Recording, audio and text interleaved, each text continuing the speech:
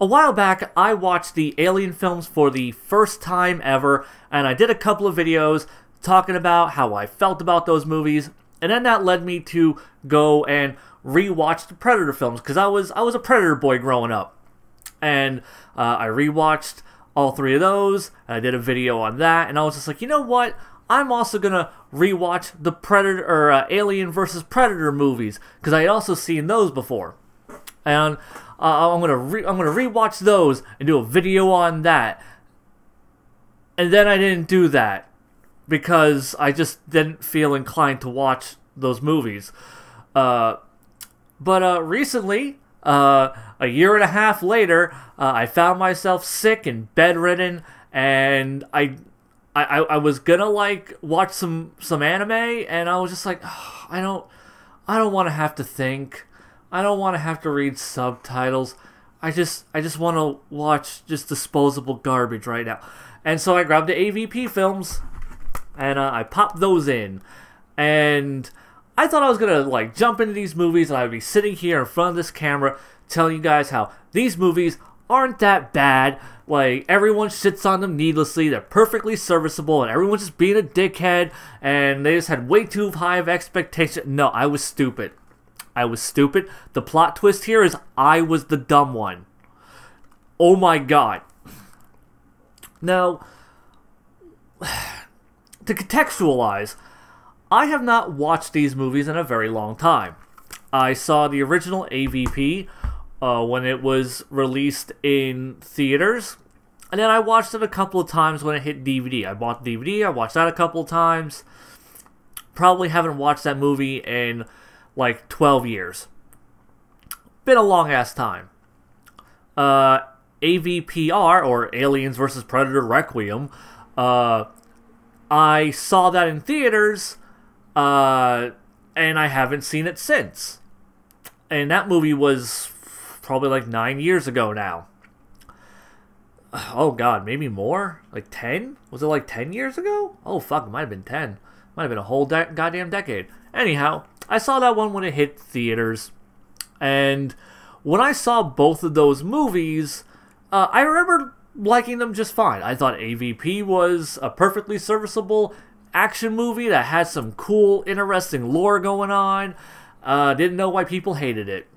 Uh, AVPR, uh, I, I remember it being a big, dumb, like, uh, gory slasher flick with aliens and predators, and I remember thinking it was super dope. Oh, oh man, I was wrong. I was I was really wrong. I don't I don't even like have like an excuse for myself. I don't know like I didn't even do drugs. I don't know what the fuck I was thinking. Um okay. So to go ahead and say like okay, AVP really isn't that bad.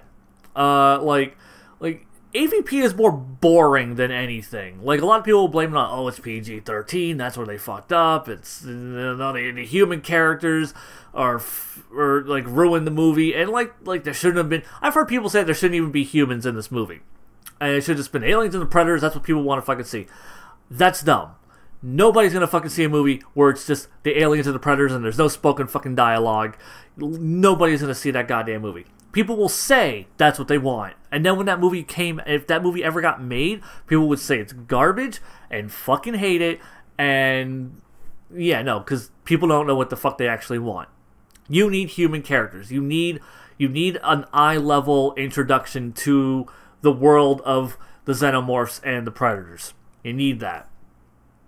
Uh, the problem is, is that the beginning of this movie is kind of structured like Jurassic Park, where they're kind of collecting all the scientists or the the specialists for this team that they're putting together, and it's just it's so long and protracted, and it just goes on and on, and there's no sense of pacing. There's no real sense of structure.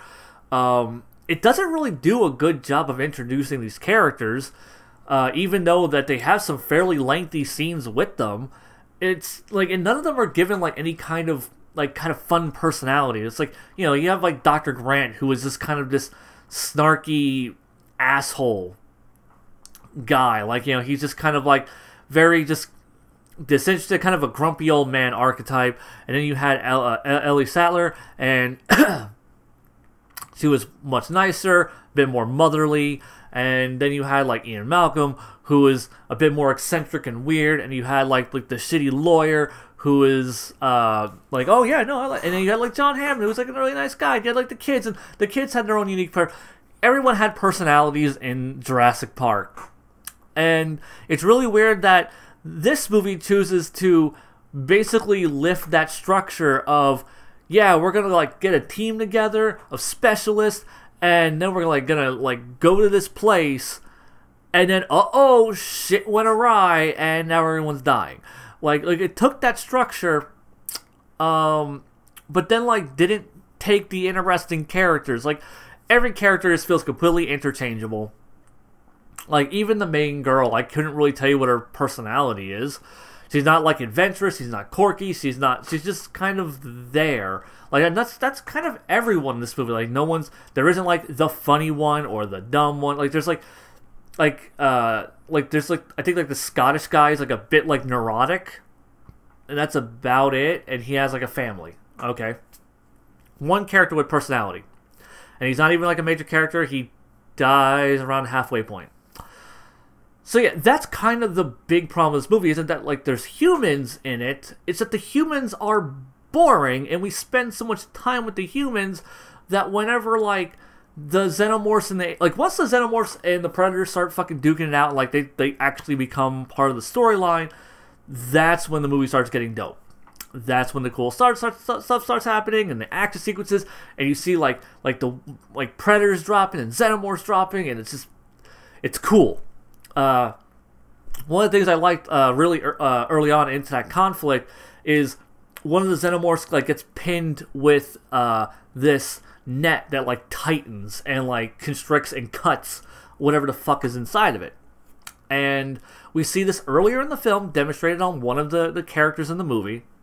Uh, nameless uh, fucking human character with no personality, uh, number four. Uh, like, he gets caught up in the net and dies. And then uh, Later on, we see a xenomorph get caught in that, so when it constricts on them and it like cuts the xenomorph, its acid blood like melts the net and it gets out. So now you have a xenomorph with like these fucking cool green glowy, uh, or not glowy, but like because the the predators are the ones with the glowy blood. But like the xenomorph with like these green cuts across uh, its its shell, and so now you have a, a, have a xenomorph with like a distinguishing characteristic that stands out from the pack, and he's kind of like the main xenomorph, uh, other than the queen, who becomes like the final boss. And uh, like I, I think there's a lot of good stuff from that point on. Like once the the plot starts going, uh, you know, you have a lot of people hate how uh the, the predator and like the human girl form kind of a bond, and I'm like, yeah, no, that's perfectly a character for the predators. No, like it's like she killed a xenomorph. He's a warrior. He respects her for having done this, you know. And they they they, they form like, like like a warrior's bond, and he like you know makes her like a shield and like a spear, and it's like a bonding moment, and I, I think that's cool. Like seeing like a predator actually show respect for a human being for a human being doing something really badass. Because it's not like like the predators haven't shown respect for people before. You know, Predator Two. Uh, Danny Glover fucking murders the predator and that, and then like five other predators show up, and they're like, "Here, here's like a trophy. Good job on killing one of our guys. All right, get the fuck out." You know, like they just they they they, they give a sign of respect and they split, and that's kind of how I feel like this is treated. It's like you know, like he has earned her or she has earned his respect, and now they are a team uh, I think it's a great idea. I think it, it, works really well within the context of the film. Which works great within the context of the Predator universe. Uh, I, I, love like the lore that they build, like you know, like the like the earliest civilizations of man were were uh, all influenced by the predators coming here and like building these these temples as training grounds and like it's a great fucking idea. And honestly, I think it's a far more interesting uh, use of the xenomorphs in human history than fucking Prometheus ever gave us. Oh my god, I really hate Prometheus. Like, n- not as much as I hate Alien Covenant, but I really hate Prometheus. but yeah, uh, Alien vs Predator though, like it works, and like it's slow as shit in the beginning. It's boring as fuck in the beginning, but once it starts moving around the the the, the midpoint of the film. Like, like I was saying, like the beginning of Act Two of the film, from Act Two and Act Three. Act One is boring as shit. Act Two is fun. Act Two, or Act Three is fun. Uh, you have the big fucking boss battle, and then the sequel tease where like a pred alien burst out of the thing's chest, and it's cool. Uh, like you could tell, like the per- like the people making this movie gave a shit. Like there was a lot of attention to detail. Like like they were just doing the like they were doing this thing as hard as they could. Like you know they they didn't have the means to write good characters. They didn't have the talent to write good characters, but they knew how to like build a set and do some lore and just do that as hard as they could and just make it cool and make it fun. And yeah, like Alien vs Predator is a fun movie once you get past like the first 20 30 minutes of it. Like the first 30 minutes of the movie is fucking boring. But once you get past that, it's a good time. I man, I, I cannot say the same for Aliens versus Predator Requiem. Also, can I just say like the name Aliens versus Predator Requiem annoys the shit out of me? Because the first movie is called Alien versus Predator. And then the second one is Aliens versus Predator Requiem. Now, I'm assuming that's because, like, you know, oh, it's one predator versus multiple aliens, but the first movie was multiple predators versus multiple aliens, and that one wasn't called, like, aliens versus predators. So why is this one aliens versus predator? Is it because the second alien film is called Aliens? Like, if we. If we had, like, you know, gotten another one of these, would they have just you know gone back to just alien versus but then predators because the third predator. I don't know. It's dumb. Uh, I, I i hate it. I hate i hate the name. Uh, i never even noticed that the name did that until uh, i actually bought this collection and i was looking at it. And i was like aliens versus predator? They called it alien? Like like i fucking remember seeing this in theaters and never once questioning that. And honestly, it's not like you know. I mean, that has the least fucking movie's problems. Is a stupid title. So, Requiem is uh, an absolute fucking dumpster fire. I remember going into this movie, like the one time I had watched it, it was Christmas night. Uh, me and my friends got together. We're gonna go watch a movie. We're gonna go watch AVPR, and ooh, ooh, ooh, ooh, ooh, ooh like I remember us having a good time. Like we all came out of that movie like, yeah, that was fun. That was that was that was a good stupid schlocky gore fest. And I like Agro was with me when we watched the like cuz Agro was with me originally when we saw it in theaters and he had the same experience I did, which was yeah, that was a fun dumb gory slasher flick with aliens and the predator. Yeah. And um here like yeah, when we rewatched it, it's just like, oh my god, this is so boring. Why won't anything fucking happen? Because like like there's no excuse for this movie to be as boring because like the first movie had to have a shit ton of setup.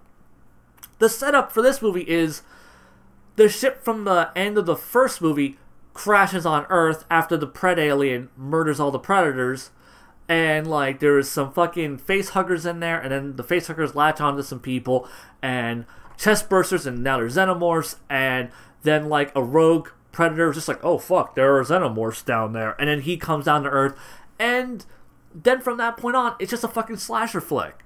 It's just you know there are humans and they're being murdered to shit by uh, the, the the xenomorphs, and the predators there trying to murder the xenomorphs, and sometimes also murdering the humans if they're armed. Like I, I don't know how you fucked this up. I mean, I know exactly how they fucked this up. They fucked it up by okay. So so the people who who were making this movie, they clearly were like, okay, we're gonna do Alien versus Predator, but instead of having like like you know this whole plot and lore and shit, we're just we're gonna do a big, dumb, schlocky, ultra violent slasher flick. That's what we're gonna do. And that's what they go for. But like like clearly like the people who did this had like watched some slasher films and understood like, okay, so we need like the disposable cannon fodder characters that are going to die in this movie.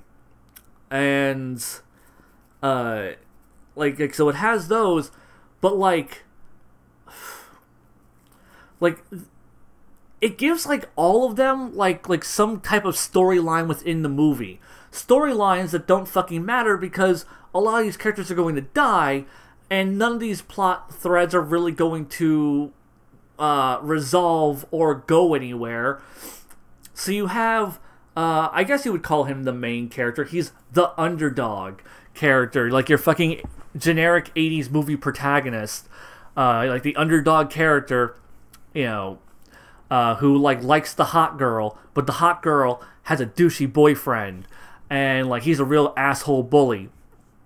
So like, you know, he like underdog goes and like delivers pizza to hot girl, but then douchey boyfriend's like, "Hey, you talking to my girl?" and then like takes his keys and like throws them down like a sewer grate, and then there's like a side plot going on where underdog has an older brother who just got out of jail, and I don't know why that needed to be a like a thing, like why we needed to know he just got out of jail. Uh, I guess so you could have like his cop buddy who was there, and then there's like a woman who's like just got back from the military and she's like reuniting with her family. Um, I don't know why we needed her to be like re- like returning military because that doesn't really factor in. Um, I don't remember if she had like any action sequences. It's not like she, ha- yeah, no, like like all the action is really just between the predator and the alien. So, so you got that going on. Uh, like all these characters, all these fucking plot threads. Um, like also, oh, like when the spaceship first crash lands, it like the face hugger latches onto like this hunter and uh, his son. So like a kid dies right out of the gate. So that was one of the things I remembered about this movie, and I was just like, yeah, awesome, they fucking killed that kid. Um, because movies just usually don't have the balls to kill kids, and this one is just fucking kid face hugger chest burster kid fucking dead. Uh, like, cause this movie's like, yeah, this movie is not pulling any fucking punches, and uh, then we have like the plot of like you know the wife uh, of like the hunter being like my my husband and son went out into the woods and disappeared and I don't know what happened. And like she's like all distraught over that. But like that doesn't really go anywhere because like you know just like she, she's looking for her family but she's just gonna die. She dies like and, and like she's not like she's murdered in any kind of like poignant way it's just like at the end of the movie like the military comes in and just nukes the entire fucking city uh okay um so yeah, like a lot of these character plot threads just don't matter at all. Like a lot of this movie is just taken up with these fucking characters. Uh, like underdog ends up going to a pool with hot girl because hot girl just broke up with douchey boyfriend and then she's just like now wants to like jump on underdog's dick for reasons? I don't i don't know. But then like douchey boyfriend shows or douchey ex-boyfriend shows up. It's like hey we do it with my girl. And then like him and like his buddies get into a fight with underdog and they fall into a pool. And then that whole scene exists i guess just so like a xenomorph could like get into the water and like murder like one of the guys. And like that's about it. And they're like oh my god. And then they're running away oh my god. Mm. this movie's bad. Like it's such a jumbled fucking mess. Like it understands like what actually no it doesn't understand. Like it knows what the beats are of like a schlocky slasher film, but doesn't understand like how to actually make one. It understands like you're supposed to have these things in it, but doesn't understand like why you're supposed to have like these character archetypes and these plot beats and how to actually execute them. It just knows that like, yeah, these are the things that are in these movies and just shoves them. Like, how do you fuck up a slasher film? I mean, I guess we've been fucking up slasher films for a while now, but like I've never seen it so incompetently done and to think like you did it with Alien versus Predator. Like you fucked up Alien versus Predator while making a slasher film with it. It's like that should have been the easiest thing on the fucking planet to get right, and you fucked it up. Like, like, I. Oh. Oh man. How did I ever think this was acceptable as a movie? Like, what, what were my tastes that bad? Like, like it was like taste in movies that fucking bad back then. Like, like there's no fucking way. Like, like I know, like around that same age, like I saw Transformers. I thought Transformers was fucking terrible. Like I knew that was terrible the first time I watched it. How the fuck did I watch Requiem and think this was even acceptable as a movie? And like a lot of like like the like the action like fights and shit. It's like the movie's so fucking dark you can't even see a lot of it. It was giving me flashbacks to goddamn Ninja Assassin. Like it's just like everything about this movie is so fucking like you know the it's it's too dark to see the gore and the violence. So you can't really uh, enjoy that kind of visceral aspect of it. The the gore is so spread out that you can't even get like a good train of that going. The characters are not just one dimensional, like like they're like they're like caricatures of one dimensional stock archetypes. Like not even like the stock archetype, it is a caricature of that stock uh, stock archetype. I've just never seen a film fail so spectacularly at something so fucking basic. God, like like I was 24 when I saw this goddamn movie the first time. Like like there's there was no excuse for me to ever th- like like fuck fuck 24 year old me. Like he was a goddamn moron. He did not know what the fuck he was thinking. Like what the fuck good at like like I now have to like go back and rewatch everything I've I've seen like more than 10 years ago because I can't trust my fucking opinions from back then. I was a fucking moron. Like like am I going to like go back to Escaflowne and find out that my favorite anime is fucking garbage? Is that what's going to happen? Like like what other movies that I think were like good or acceptable that are might be fucking just dumpster fire trash? Oh my god. Oh god, I didn't even finish talking about this movie. Whatever. People die. The fucking hot girl gets split in two by like a giant predator blade. That's pretty dope. Um, but it also at the same time, it's just like, why the hell do we spend so much time with this fucking romantic subplot when they and like the people who live and die feels just completely arbitrarily selected because it's like underdog, his brother, military chick, and her daughter, and that's it. Everyone else fucking dies. They're either killed by a xenomorph, killed by a predator, or killed in the nuclear explosion that just wipes out the whole goddamn city.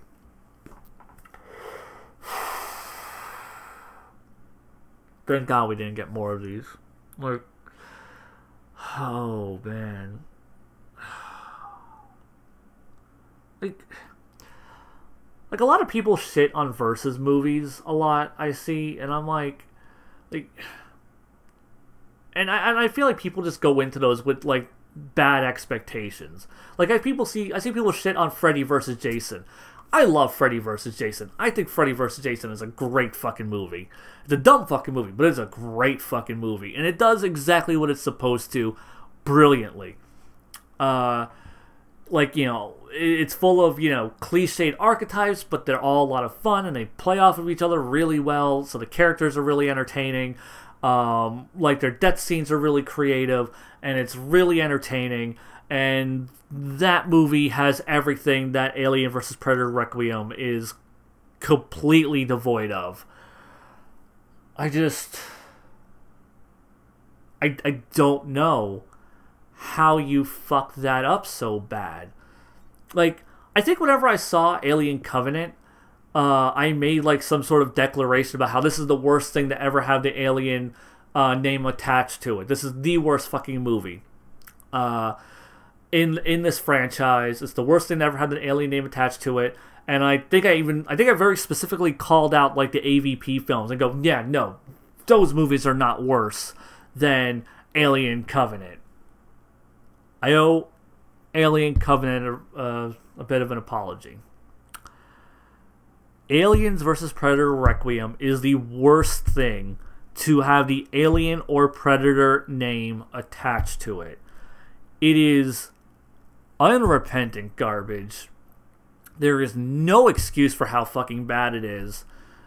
And I like every person involved in like from the script writers to the director, anyone who had any type of authority or uh, decision making like in this film needs to not have a career.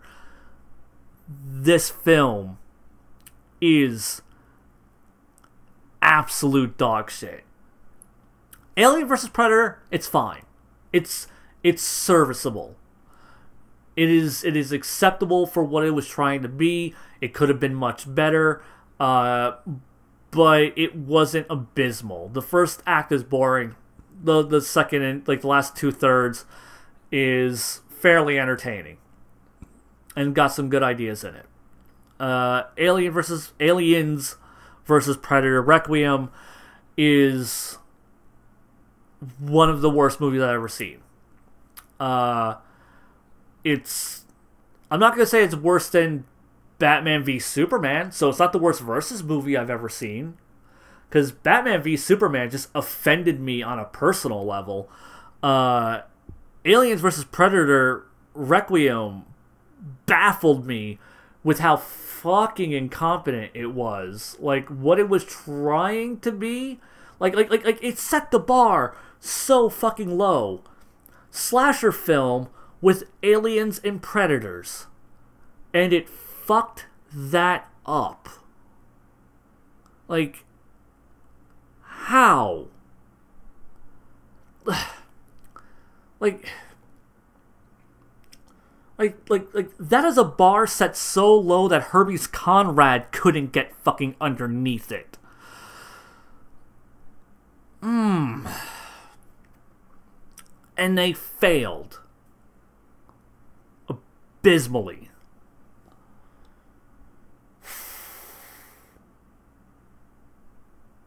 Fuck this movie. Especially fuck 24 year old me.